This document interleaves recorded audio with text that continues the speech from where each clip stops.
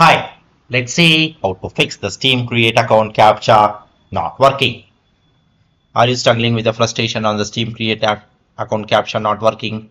You're not alone. Many users have encountered this issue when attempting to set up the new Steam account. The error message reads your response to the CAPTCHA appears to be invalid. Please re-verify that you are not a reboot robot below. So let's see like how we can fix this particular error that is how to fix the steam create account captcha not working. The first method is clear your browser data and, and cookies. Always try to clear the cookies and caches. If you are using a google chrome just show you. Click on these three dots click on clear browsing data and select all and select all time and click on clear data. So that will clear all the cookies and caches Follow similar methods for the Mozilla Firefox as well as the Safari. The second method is check your internet connection. A stable internet connection is crucial for the CAPTCHA verification to work correctly. If your internet connection is unstable or slow, the CAPTCHA may not load properly.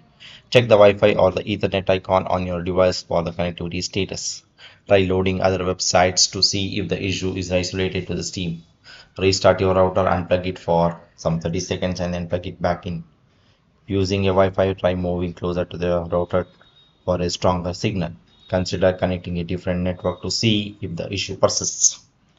Third method is disable the VPN services. If you are using a VPN, it could be interfering with the CAPTCHA services. Try disabling your VPN to see if it resolves the issues.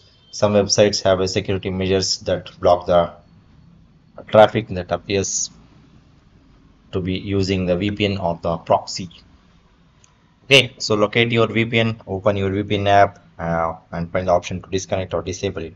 If the vpn is a browser extension go to the extension menu and disable it. After disabling the vpn refresh the steam page and try the captcha again. The fourth method is switch browsers. The problem might be specific with the browser you're using try switching to a different browser to see if the captcha works. You can also use the google chrome microsoft edge and firefox as they work with the steam. The fifth method is flush the dns caches your computer's DNS caches stores the information about the internet activity but sometimes this data can become outdated or the corrupted. Flushing your DNS caches can help you to refresh this information and potentially fix the CAPTCHA issues. Press the Windows key and then type command prompt. Right click on the command prompt and select run as administrator. If the command prompt window type this particular command press enter wait for the confirmation message indicating the DNS caches has been flushed. The sixth method is switch your internet protocol version. If you are acknowledgeable about the network settings you can try switching to internet protocol version used by your computer. Some users have found that changing your IPv6 to IPv4 can resolve the connectivity issues. Press the windows key and then type network network connection.